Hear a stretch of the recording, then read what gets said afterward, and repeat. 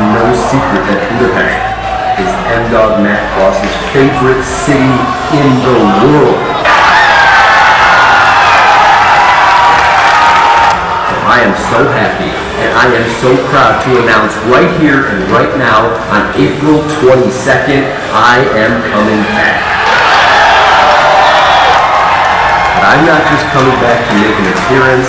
I'm not just coming back to wrestle. I'm coming to make an impact. I am coming for the HCW title. I can't wait, and I'll see you guys all April 22nd.